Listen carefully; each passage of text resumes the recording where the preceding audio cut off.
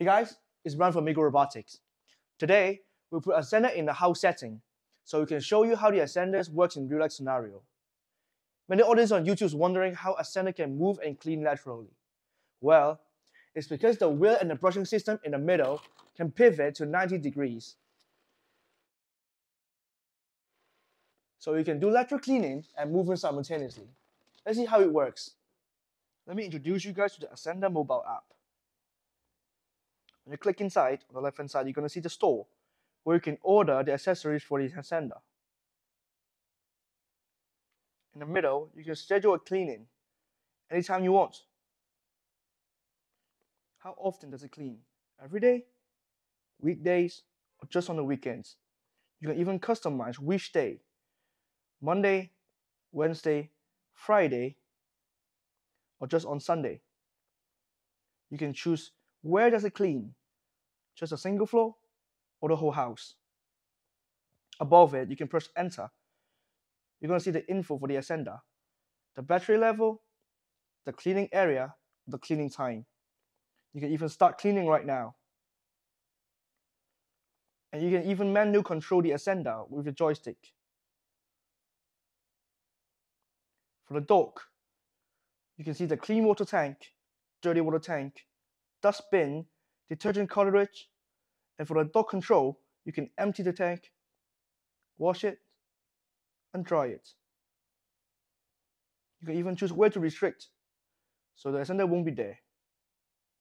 On the right hand side is our user setting. You saw how the app work. Let me show you the machine.